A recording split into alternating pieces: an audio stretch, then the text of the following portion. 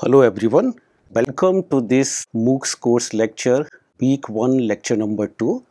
In the previous lecture, we discussed about the conventional petroleum production system. In this lecture, we are going to briefly discuss about petroleum reserves. Remaining time of this week, we will be discussing about petroleum geology and drilling fluid methods. So the petroleum reserves are the deposition of the organic and the rock material underneath the surface. So the picture that I have shown in the last lecture also is the surface picture where the deposition of similar kind of the strata is shown, where the time temperature history underneath the surface convert the organic material to hydrocarbon fluid. This happens over the geological time scale where the organic material converts into coal, oil and the natural gas. The other picture shown here is the representation of how these hydrocarbon fluids are stored under subsurface. For deposition of this hydrocarbon fluid, source rock, reservoir rock and cap rock are required. So, the setting of geological formation and the types of the rock actually determine the hydrocarbon fluids are stored there or not or what are the composition or the phase of that hydrocarbon fluid underneath the surface at the geological reservoir formation. So, petroleum reservoir may be defined as, as a subsurface distribution of the pore network formed between strata of sedimentary rock formation which consist of hydrocarbon fluid and the water. Water is always associated with the hydrocarbon fluid. This petroleum reservoir underneath the surface is having the pore connected to each other and the path is permeable. So, the geological formation is having the porosity and permeability because of that significant amount of the recoverable hydrocarbon fluid are stored at a place where we need to reach by drilling and collect this fluid to the surface. So, the reservoir are defined by their location, temperature and pressure. I mean to say the particular type of the reservoir may contain of the hydrocarbons or may not contain. Even if it contains how much quantity it contains, it depends at what location these reservoir are deposited, under what temperature pressure conditions these reservoir are exposed. In geological terminology, it is geological trap configuration. Structure and stratigraphic features are the important parameters those determine the nature of the reservoir. Overall petroleum reservoir can be classified into three parts that is the proven reservoir, probable reservoir or the possible reservoir. Proven reservoir are the reservoir which are producing at the economic conditions. So, those are having the hydrocarbon fluid, those are identified, the drilling is done, production is started and those are producing at a high flow rate and the process is commercially recoverable hydrocarbon fluid that is called the proven reservoir. Probable reservoir these are the unproved petroleum reservoir which are having the hydrocarbon fluid and those hydrocarbon fluid can be recovered.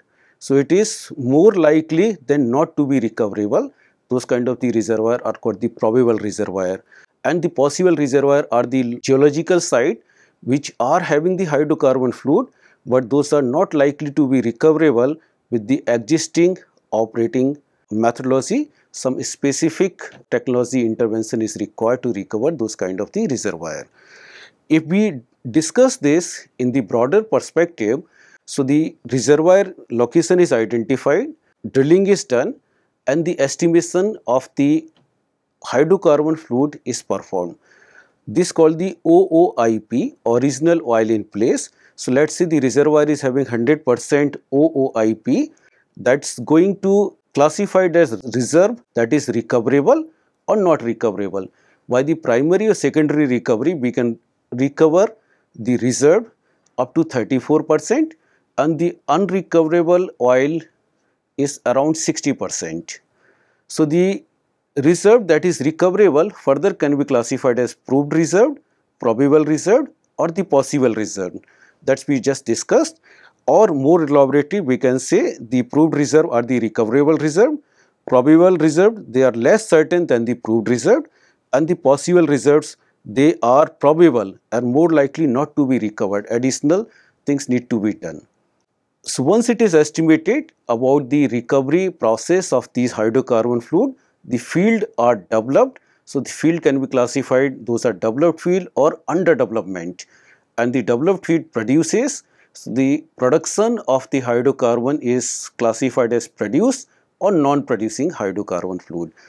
The other path could be where for the unrecoverable hydrocarbon that is actually the target for the EOR or tertiary recovery process where the specific type of the methodology or technique is adopted to recover the unrecoverable hydrocarbon from this reservoir. So, what this hydrocarbon fluid is? We called it as petroleum. So, the word petroleum is a Greek word break down into two parts petra that means rock and the oleum means oil. So, the petroleum can be called or petroleum means is rock oil. It is a complex mixture of hydrocarbons with minor amount of the oxygen, nitrogen and sulfur compounds. Hydrocarbon present in the uh, petroleum substance ranges from C1 methane to C40 or even higher up to C70 or even the more complex system where the hydrocarbon are having the carbon number beyond the 70 also. In terms of the elemental composition, this petroleum is predominantly having the carbon supported by the hydrogen 11 to 14 percent is the hydrogen and the remaining are the other gases or other substance. So, the petroleum in general that is the oil means crude oil and the gas that is natural gas are more homogeneous in terms of the composition than in the coal and these petroleums are formed in the sedimentary rocks. So, when we talk about the coals there are a variety of the coals depending on the elemental compositions or the proximate and ultimate analysis, we can classify them as lignite coal, means uh, bituminous coal and some other. So, petroleum substance are more homogeneous than the coal. How these petroleum reservoir are formed? There are various theories there. Broadly, we can classify those theory as the organic and the inorganic theory. Inorganic theory, again, there are many inorganic theory, two uh, widely published theories are carbide theory and the cosmic hypothesis. Both these theories are not able to explain the entire formation of these hydrocarbon things. There are certain limitations. So, for example, in the carbide theory, the mineral carbonate reacts with the water and form the hydrocarbon substance like C2H2 and those go through the uh, further chemical reaction to form the higher molecular compound. But this carbide theory is having the limitation because the amount of the hydrocarbon reserves are found across the globe cannot be explained with this kind of the hypothesis because abundance of the hydrocarbons are formed and these carbide reactions are limited. They require the water to be formed and the metal carbide should be enough to form that amount of the hydrocarbon. Cosmic hypothesis that says hydrogen carbon vapors are already in the cosmic clouds, favorable conditions happened and because of that we got the hydrocarbon. But this is also having the limitation if that kind of the clouds were present, the life cannot be survived on this planet and presence of the heteroatoms like nitrogen, oxygen and sulfur cannot be explained with this theory. The organic theory that is most widely accepted theory where the marine, large marine animals is the main source of the fat that fat got converted into hydrogen. But this hypothesis again cannot explain the presence of the nitrogen. So, more comprehensive approach uh, on the organic theory was proposed that is the combined organic theory.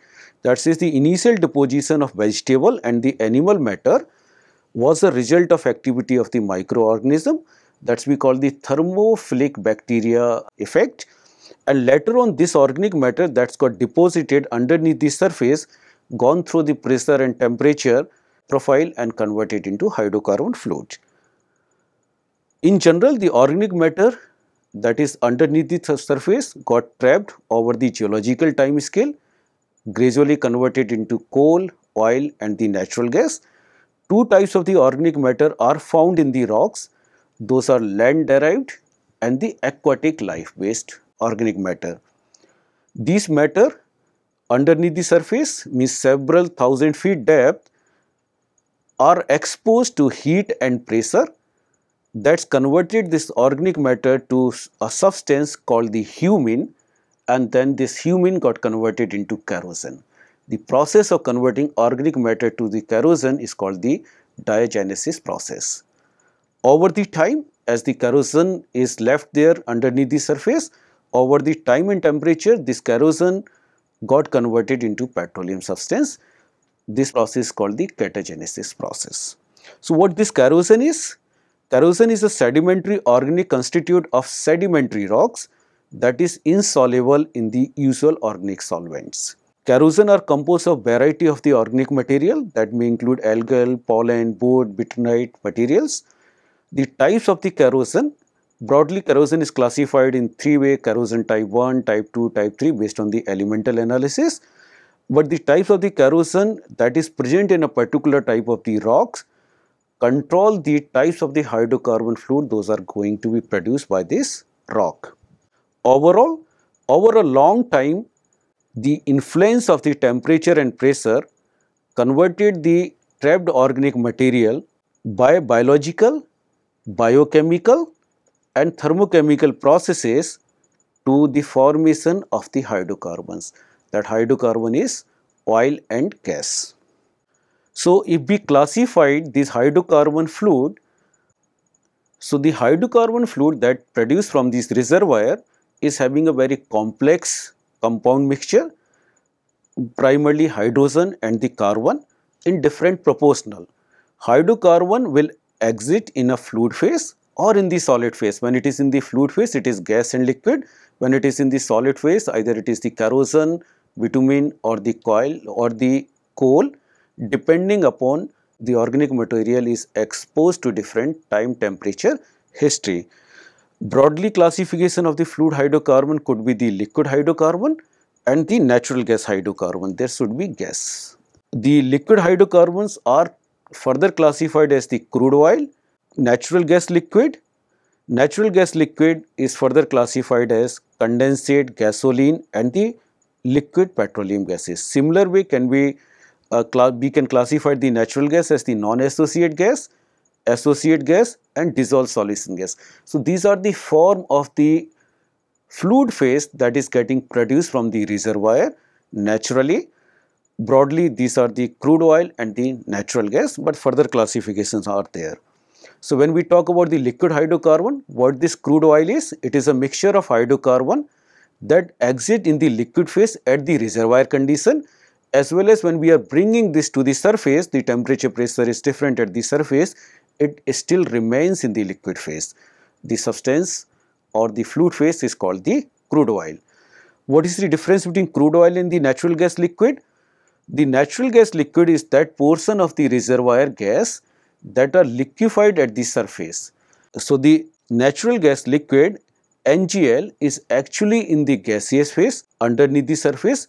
When it is brought to the surface, it is passing through the separator surface facilities or processing unit, it changes its phase and convert it into liquid that we call the natural gas liquid. Natural gas liquid include but are not limited to very light hydrocarbon gases like ethane, propane, butane, pentane depending on at what temperature pressure they are exposed they may get converted into liquid phase including the gasoline and the condensate. Similarly, we can say about the natural gas also Natural gas is a mixture of hydrocarbon and non-hydrocarbon gases that exist in the gaseous phase or in the solution with the crude oil underneath the surface at the reservoir condition. The subdivision of the natural gas, non-associated gases, this is kind of a gas that is free gas that do not contain any significant quantity of the crude oil.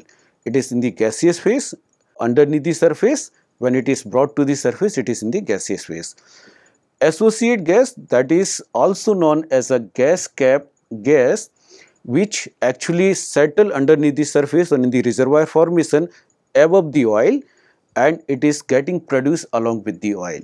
So, it is always associated with the oil production. Dissolved gas is the portion of the natural gas that is actually is in the solution phase with the crude oil under the reservoir condition. Another terminology for the gas dealing with the reservoir is the injected gas. This is the gas be injected in the reservoir from the outside to maintain the pressure in the reservoir. So, why it is important to discuss this crude oil and the uh, natural gas? As we already know about the importance of the crude oil and the natural gas or the fossil energy, actually uh, the fossil energy still are very important source of the fuels. They actually control the world economy. If we look the utilization of the hydrocarbon fluid or the reservoir fluid, in the sector wise like the transportation, industry, non-combusted things and the building, we will see the demand of end users in different sector is keep increasing. So, the data shows here are from 1970 till 2040. So, the projected data. These kind of the data you can find in several agencies those are producing such kind of the data almost every year like Energy Outlook, CIA, EIA. The data taken here are from the BP Energy Outlook. They published in 2019 where it shows like the end user sector for the energy demand is increasing. This is happening because the rapid development is happening, civilization is going through the modern phase and the energy demand is required. The energy demand if we look in the region wise we also see the energy demand or overall energy demand is also increasing worldwide and it is expected in 2040 the energy demand will be higher or significantly higher compared to 2019 where this data is taken. In this chart we also see the country wise or a group of the countries that's form the organization of economic cooperation and the development. Around 38 countries are the part of this. They are in the need of significant amount of the energy. India need is lesser than the china and some other african countries are having the need but in general we will see each country's energy demand is increasing as we are progressing towards the development how to meet this energy need there are several form of the energy those can be utilized to meet this need. They can be classified as renewable, hydro, nuclear, coal, gas and the oil. So, in the third graph you will see the energy is supplied in different forms like renewable, hydro, nuclear, coal, gas and their distribution is on how much share they are having in the total supply of energy need. The BP Energy Outlook in 2019 published the data and they said 50% of the demand of the total energy need of the world still be supplied by the oil and gas until 2040. Despite the oil breakdown happened in 2015, the demand of fossil fuels like oil and gas in the world is still high. World is still depending on the fossil fuel based energy.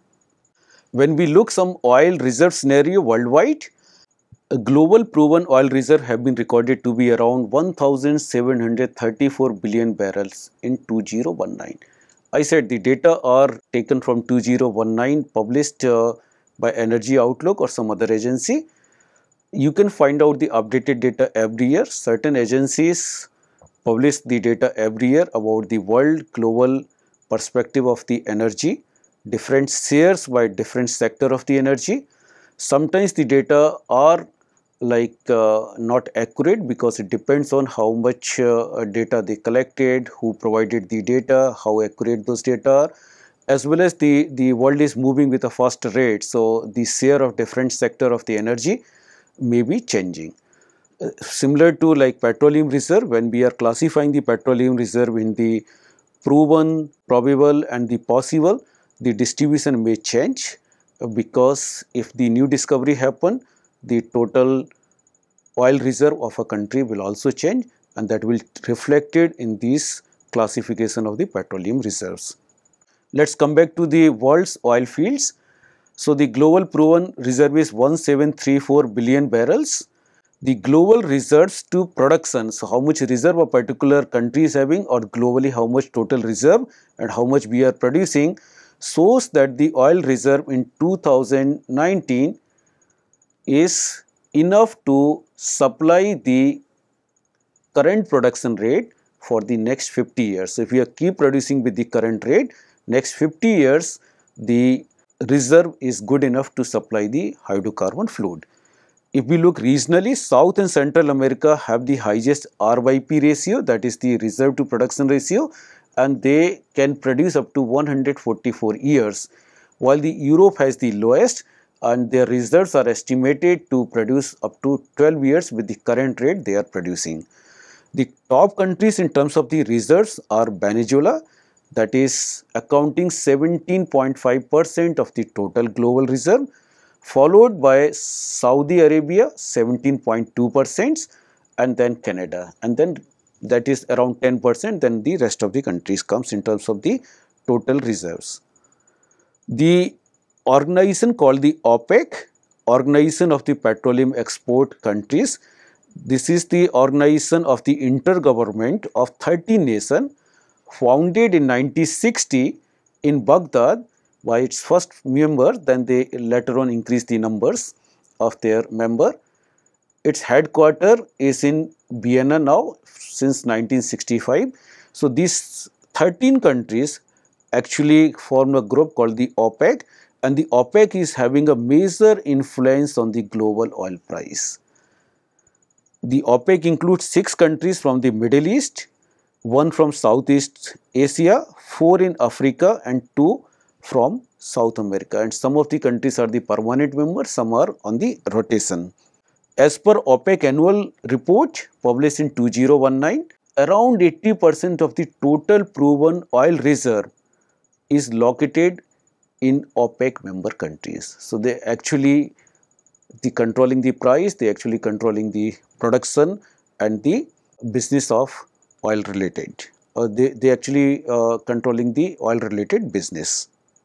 If we look on the proven crude oil reserve for different countries, so I summarize the data for a 3 years 1990, after 20 years 2009 and then another 10 years that is 2019.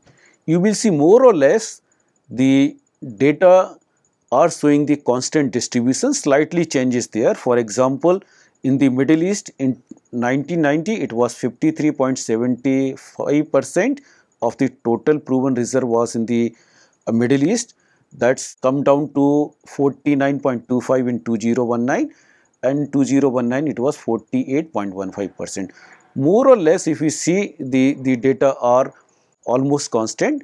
Slight variation is depending on how new discoveries are happening, at what rate uh, they are producing, how much reserve remains with them. In this list of the global perspective published by again BP Energy Outlook in 2010, we will see the Venezuela that is having the highest reserve followed by the Saudi Arabia 298 barrel billion 298 billion barrels followed by Canada, Iran, Iraq, Russia, Kuwait, UAE, United States and the Libya. In this list, if you see India is somewhere here which is having the very less amount of the reserve compared to the world total reserve.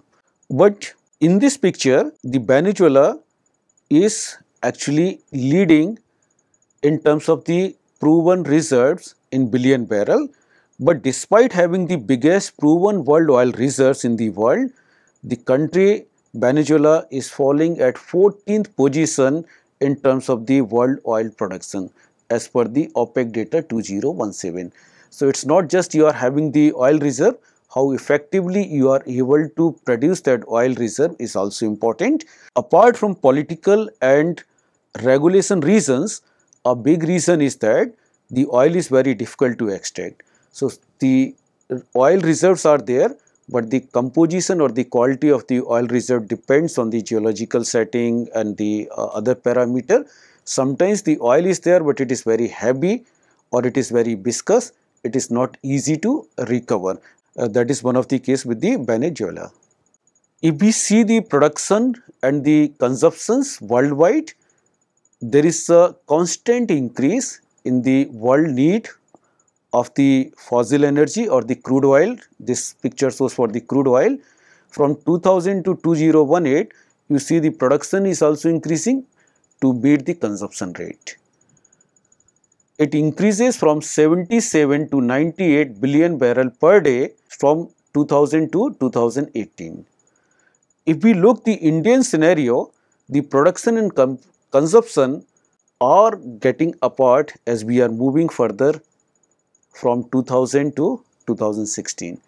So, the production is not happening at the rate at which the consumption is happening in India for the crude oil.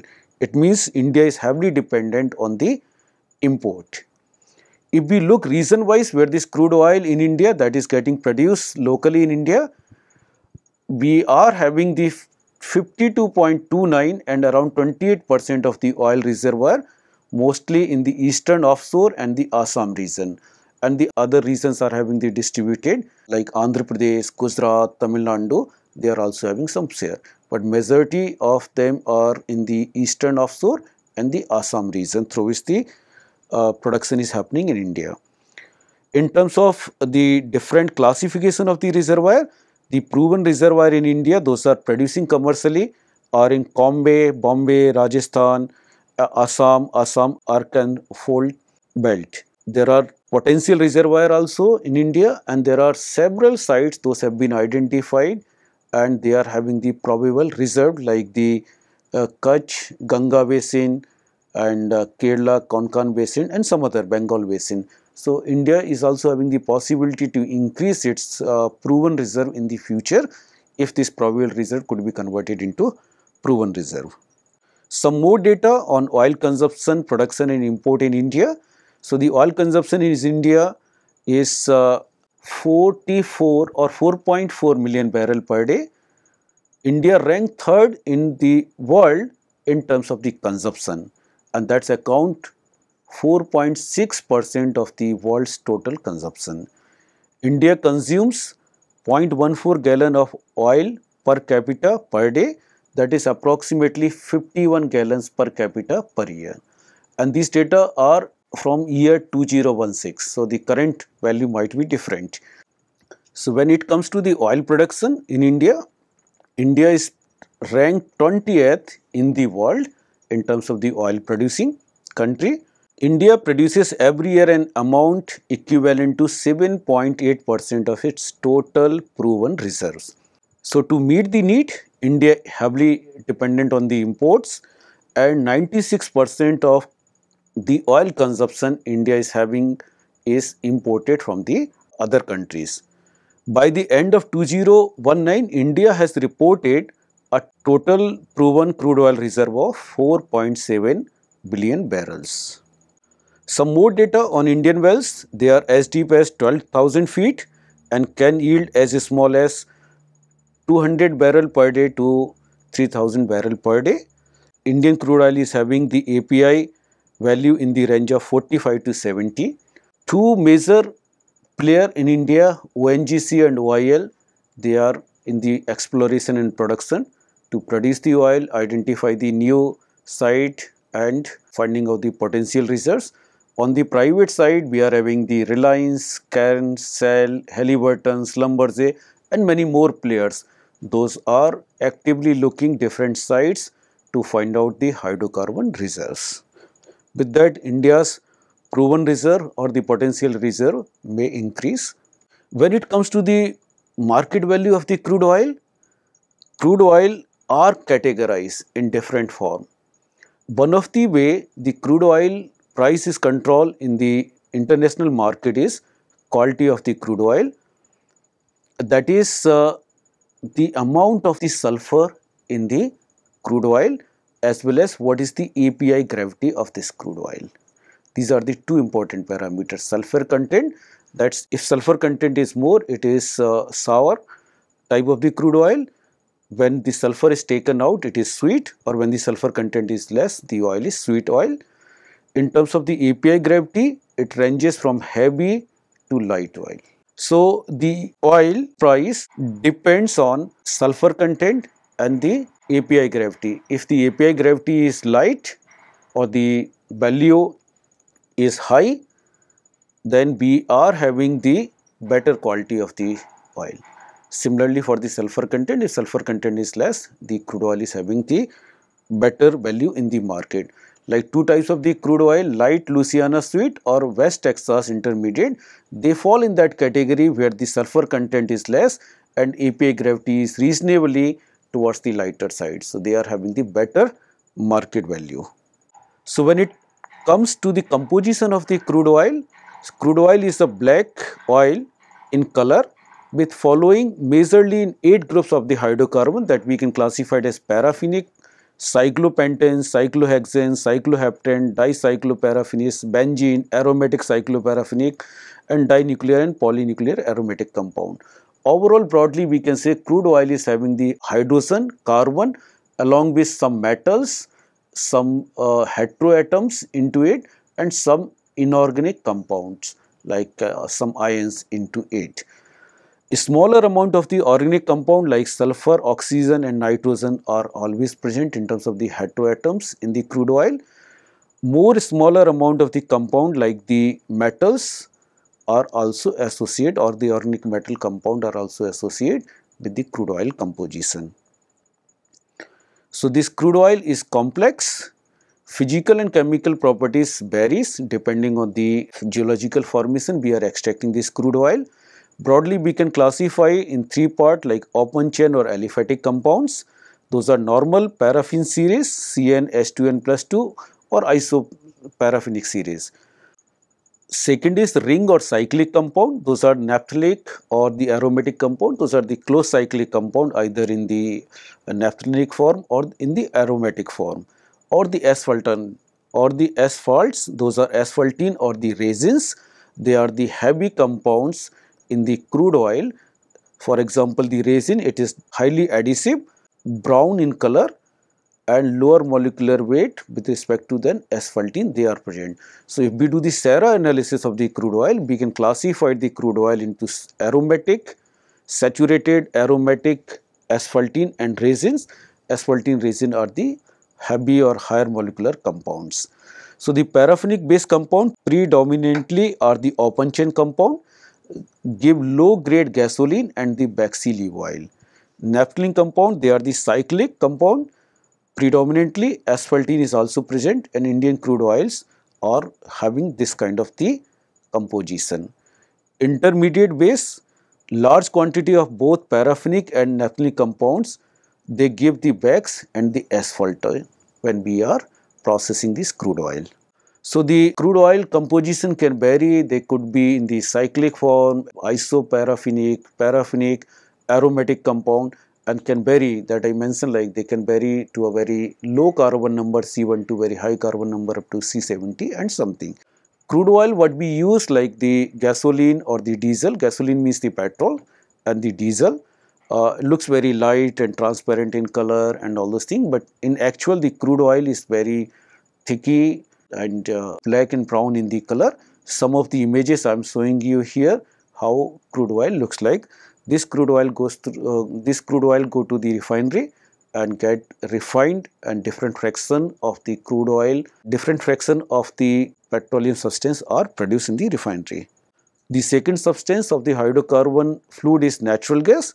Natural gas is a complex mixture of hydrocarbon with minor amount of the non-hydrocarbon compounds so, predominantly it is from C1 to C6 or C7. In the non-hydrocarbon gases, it is carbon dioxide, hydrogen sulfide and the nitrogen. The gas or natural gas is colorless, odorless, it is combustible in nature, it produces energy when it is combusted and it is considered as a clean fuel as it is not going to produce uh, some harmful uh, gases like the uh, SO2 and SOx and NOx. The energy content of the natural gas is measured in BTU. The value varies from 500 to 1550 BTU depending on the composition. So, if the hydrocarbon composition or the higher carbon number hydrocarbon composition are more, the heating value of the natural gas is more. The non-hydrocarbon gases reduces the, high, the energy content of the natural gas. Other than the crude oil and the natural gas, most of the reservoir also produce the reservoir water that is also called the formation water or the produced water. The composition of oil reservoir water depends again the reservoir formation but oil reservoir water also known as connate water almost invariably contain dissolved salt. Connate water has more salt than the seawater. The analysis of water collected from the oil field source, it is having several type of the cationic and anionic substance. The value for one of the sample collected from oil field are compared here. So, different composition ions and their comparison is done with the seawater. So, we can see even the some of them like calcium ion, sodium ion, magnesium, they are more than the seawater. So, overall formation water is more salty than the seawater. So, to reach this reservoir fluid, the exploration techniques are required. The picture is shown here, it says like from the production well, we are producing the hydrocarbon fluid along with the water, but how this fluid is getting produced, we need to find the location where the well should be drilled. It means we need to do some survey to find out the exact location, not only the location but how deeper that well should be drilled to get the hydrocarbon fluid out of the reservoir domain. For that purpose, exploration techniques are developed by the geologists and geophysicists over the time and if we look in the history until the late 1970s, successful drilling was a hit and miss operation. So, the geologists and geophysicists used to suggest there is a potential site where the hydrocarbon, reserve, hydrocarbon reserves may be found. Uh, the success was not that high. Even the rate of 10% success, it means one good well and 9 dry wells was considered to be attractive during that time. But as the advancement is happens, lot of geological surveys are done, seismic surveys are done, not only in 2D and 3D, now 4D seismic surveys are done. The underneath surface is also mapped properly to find out the locations and the uh, deeper position to recover this hydrocarbon. So these are done with uh, several surveys, several techniques like the magnetometer, logging the data and now advanced computing techniques are there where we can model the underneath the subsurface phenomena easily with uh, as much as required or accurate information perform the simulation to identify the position where the drilling should be done. So, the geophysical surveys include seismic survey, gravity survey, magnetic survey. These kind of the survey actually record the physical properties of the subsurface formation. These measurement translate the geological data uh, such as structure, stratigraphy, depth, positions into useful information. Those are correlated to establish the relationship are those sites or the locations are having the reserve or not. If they are having the potential reserves, uh, it is going to be the oil or gas or the mixture. The physical properties of rock are also documented to identify the potential traps in the reservoir and overall basin geometry configuration. So, these kind of the survey are not only useful for the petroleum reservoir or is producing the hydrocarbon fluid out of the reservoir, but for several other purposes also those are used by the geologists and geophysicists. One of the technique that is widely used for identifying the location is seismic survey. It involves the natural or artificial generation and propagation of the seismic waves down into the earth until they encounter a discontinuity and are reflected back to the surface. So, the seismic survey is similar to the ultrasound. We go to the doctor and get the ultrasound done to scan out what is the structure in our body part. For example, we are going to get the scan of the stomach how the kidney is functioning, is there any fatty liver or something or not. This is done in the similar manner in the seismic survey in the uh, field where the electronic detector called the geophones are used to collect the waves those are reflecting back from the underneath the surface. So, the sound waves are generated with the help of some thumper. Vibrations are created. Those waves are propagating underneath the surface. They are striking to different formations. Based on the formation they are reflecting back to the surface and the time taken or the velocity of the sound wave is recorded and that is correlated. The types of the formation is present there. So, the seismic wave travels to non but varying velocity depending upon the kinds of the rock they are going to strike. The speed of sound waves through the earth crust varies. It varies directly with the density and inversely with the porosity. the seismic wave travels with the speed of minimum like 1000 feet per second and maximum 20000 feet per second that is approximately 6 kilometer per second.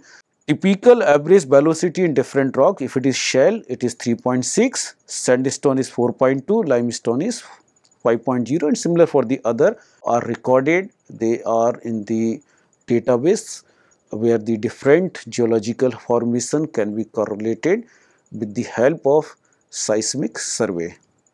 So, in the summary of today's lecture, we discuss about the origin and the composition of the hydrocarbon fluid like crude oil and the natural gas, briefly discuss about the water, energy scenario, the demand and supply across the globe, the proven reserve in the world and in India, exploration technique we briefly discuss about the seismic survey only, more detailed can be uh, found in the literature about like uh, how the logging of the well is done when it is getting drilled and how that information is transferred to the useful information. In next lecture, we will discuss briefly about the petroleum geology of a reservoir. With this, I would like to thank you, all of you. Uh, see you in the next lecture. Thank you very much.